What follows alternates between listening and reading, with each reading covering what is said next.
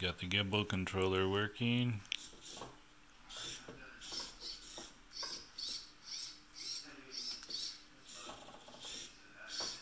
And fire control.